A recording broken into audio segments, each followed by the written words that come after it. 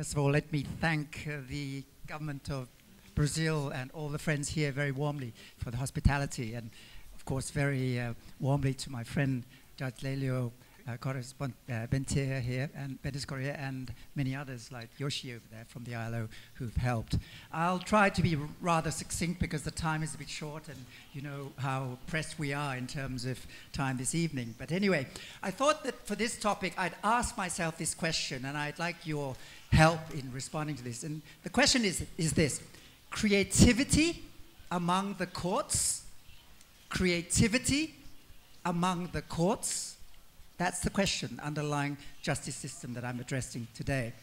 But the question is a very personal one because I come from a country, Thailand, where the system, the judicial system is civil law based, code law, Napoleonic, even though Thailand was not colonized. And yet, elements of common law crept in, particularly with judges being trained in England. And uh, other influences, of course, uh, very famously international law, because we're now becoming parties to many human rights treaties. And in southern Thailand, we have Islamic law being applied on family law and inheritance. So the word eclectic is a very important one that we should bear in mind. Eclectic nature of the justice systems with which we're faced.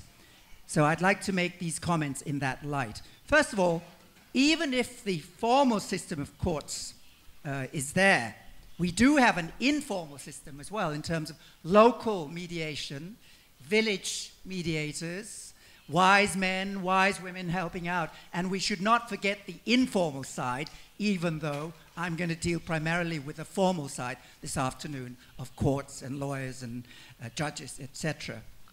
And even where the courts exist, there is a plurality of courts that we have to deal with. Um, child labor may land up in a labor court in regard to labor law.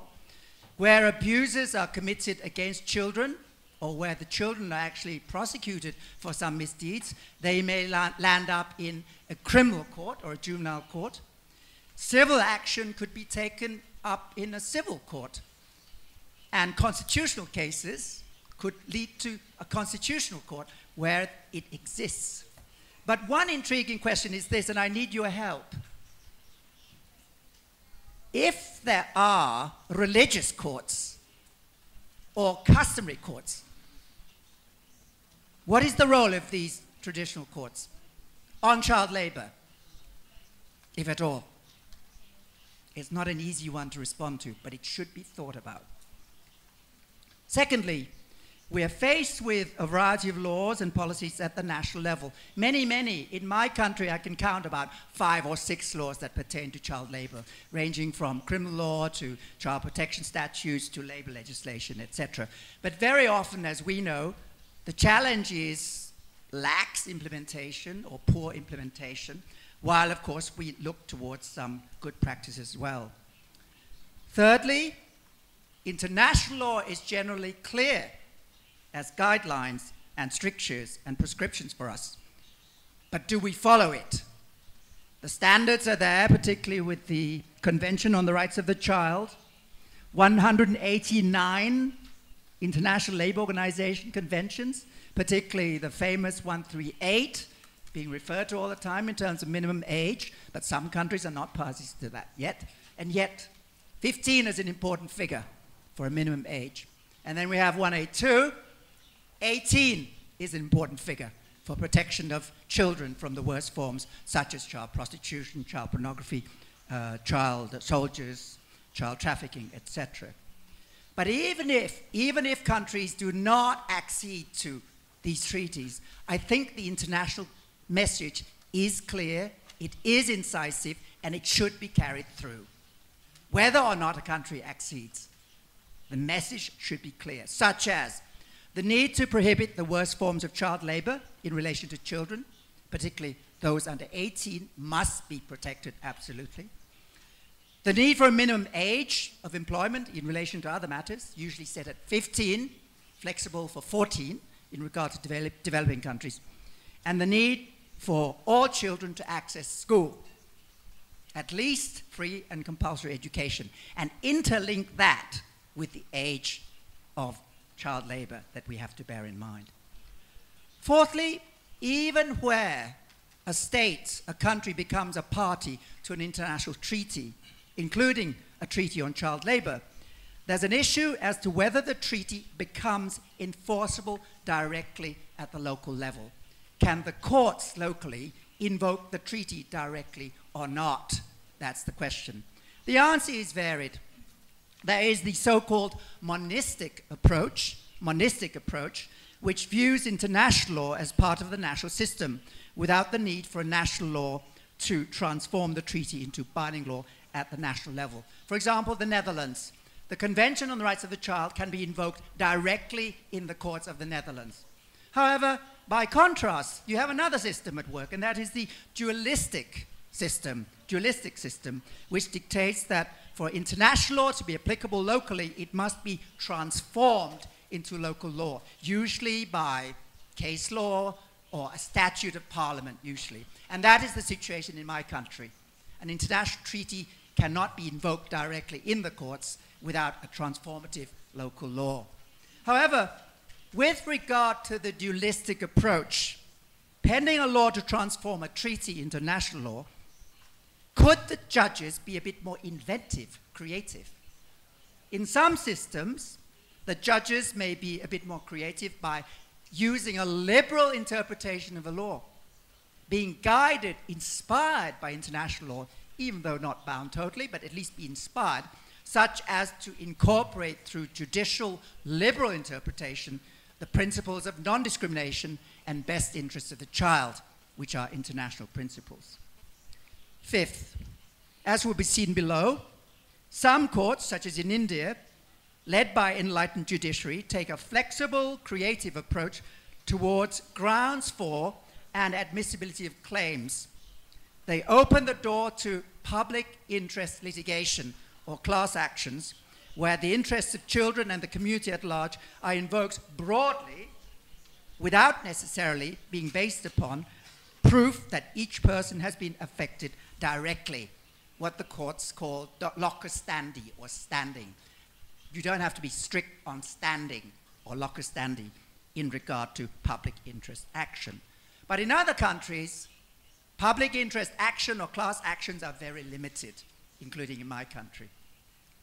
Sixth, gender sensibility, victim respons responsiveness, child friendly procedures, child and family participation, and respect for the child's views have been recognized increasingly in justice systems and related laws.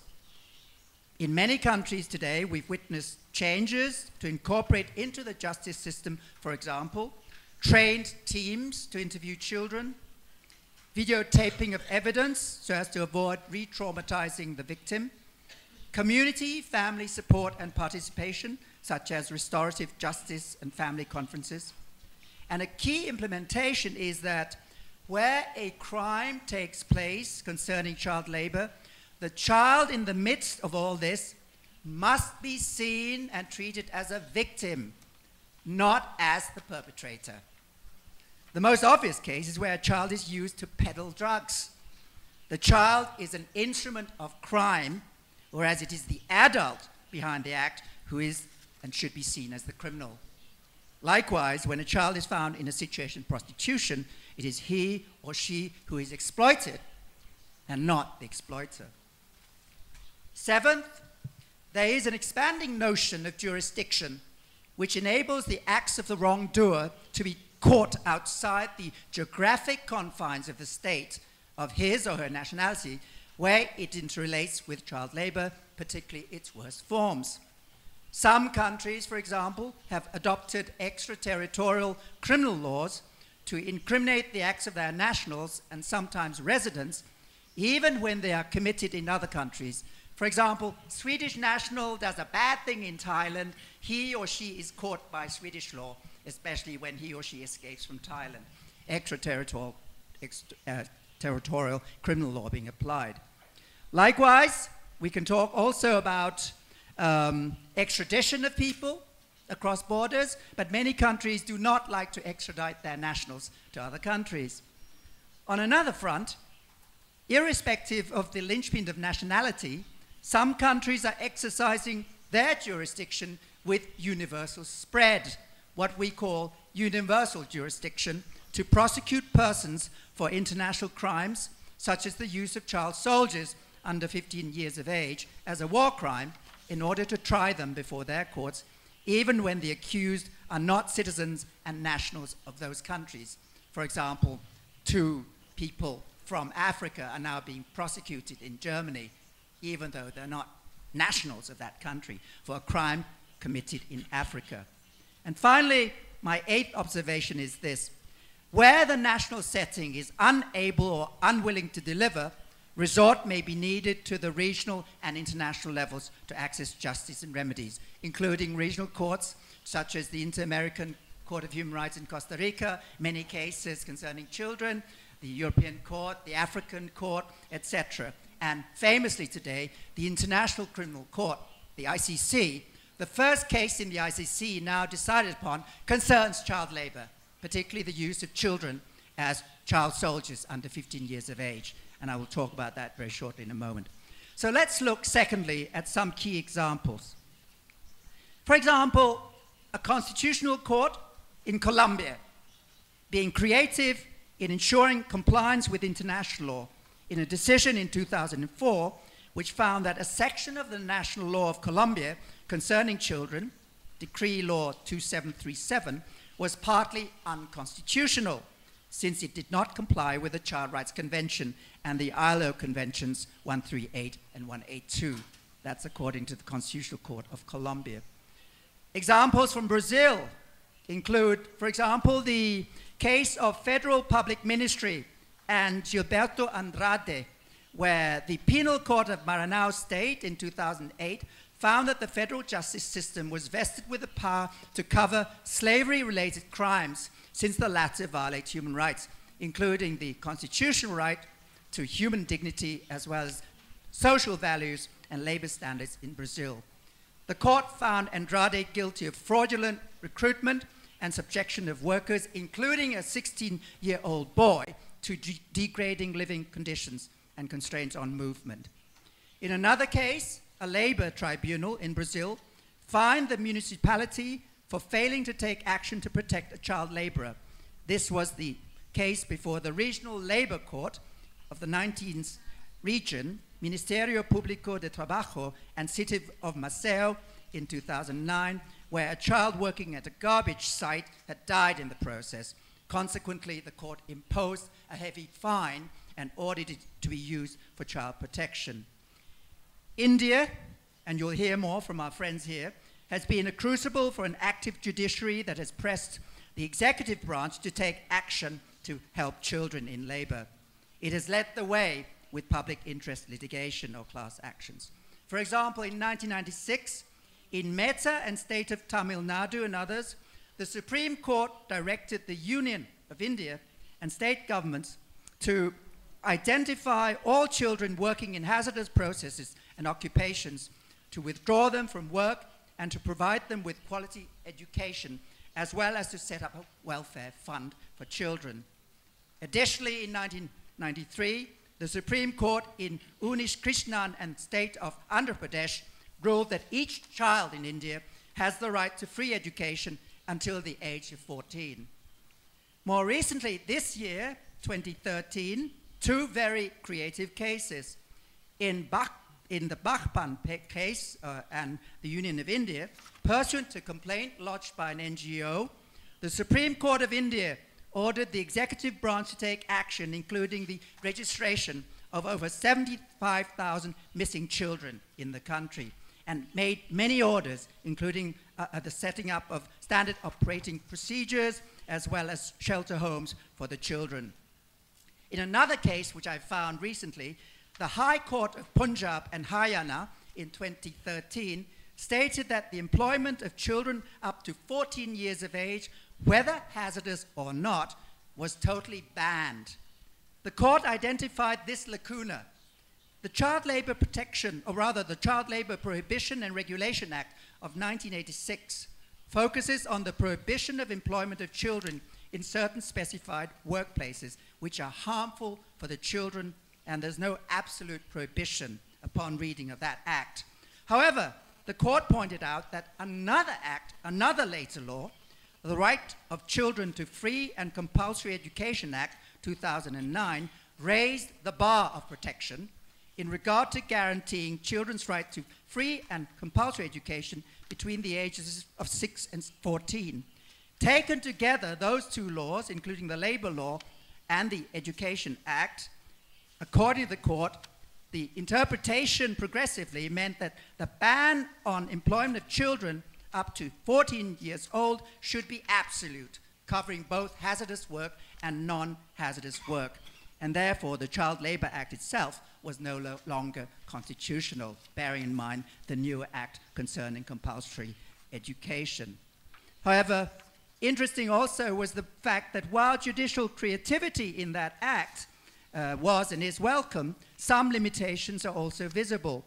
The court in the 2013 case in Punjab and Haryana, as mentioned, did not go as far as to use the age threshold of 18 as posited by the ILO Convention 182 to ban the worst forms of child labor because the country is still waiting for accession to that treaty. However, it did say that a way of dealing with the issue of up to 18 could be that the state commissions for the protection of child rights could be invoked under the Commission for the Protection of Child Rights uh, to cover cases of child labor between the ages of 14 and 18 as a possible way of indirectly prohibiting child labor in hazard activities up to 18. On another front, in another, on another continent, the United States judiciary has made interesting use of the Alien Tort Claims Act, civil claims, uh, extraterritorial to cover misdeeds in other countries, including on child labor. Meanwhile, in Europe in 2013, the Court of Criminal Appeal in the United Kingdom overturned four convictions of people, including Vietnamese children, trafficked into the country and forced to work in a cannabis factory. The court effectively highlighted that these persons, children, should be seen as victims, not perpetrators, and also where there are reasons to believe that a person is a child, she, he must be treated as a child. In regard to the relationship with customary law, a court case in Indonesia recently provides an insight into the issue. Is a person who is under 18 years old but married to be treated as a child for the purpose of protection of child labor. While customary law in that country regards the person in such situation as an adult, the Supreme Court took a different approach based on international law and the Child Rights Convention. In other words, even if you get married before 18, you are still a child for the purpose of child protection. Whatever the customary law says, international law should be followed. But what of religious law? Please tell me.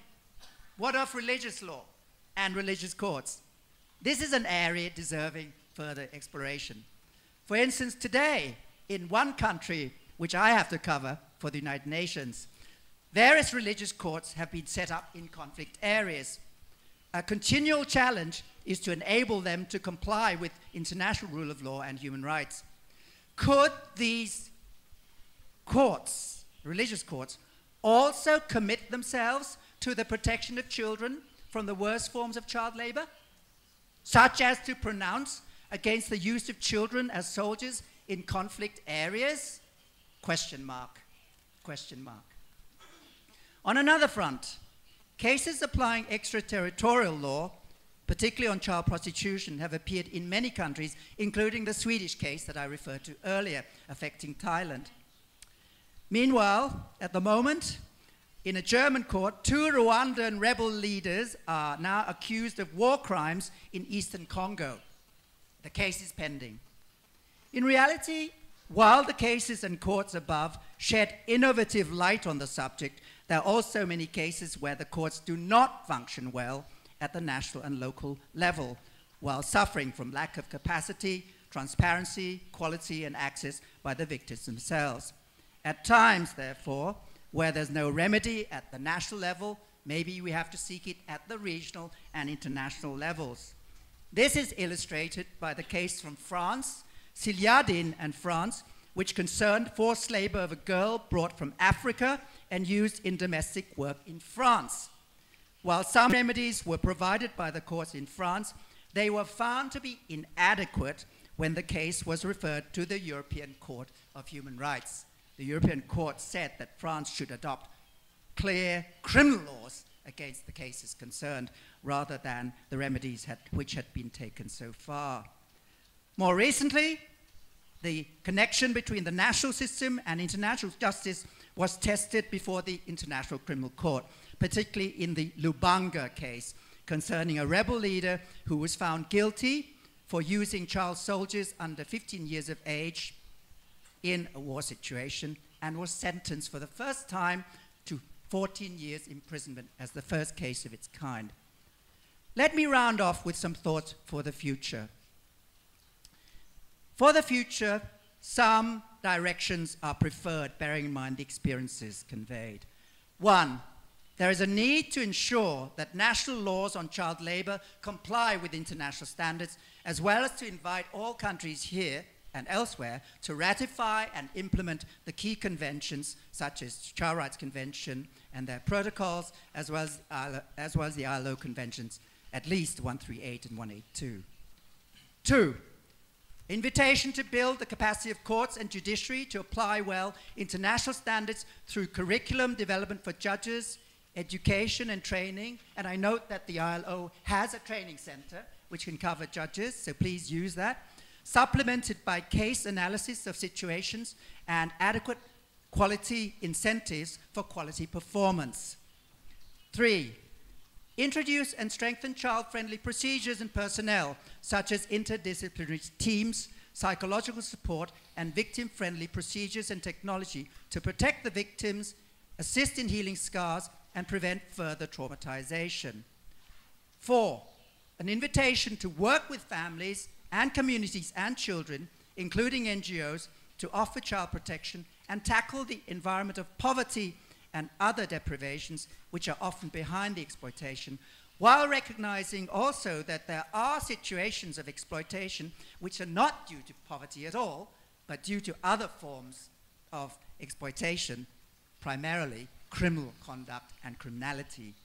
And finally, five, let us open the door to easier access by the victims to the justice system, both formal system, the courts, etc., and informal systems such as the role of village mediators, leaders, women's groups locally, such as through public interest litigation and broader vistas for exercising jurisdiction to counter violations, such as through extraterritorial criminal laws, universal jurisdiction, and the complementarity between national justice system, regional system, and international system to ensure availability of both civil and criminal remedies, including compensation, sanctions, and recovery and rehabilitation.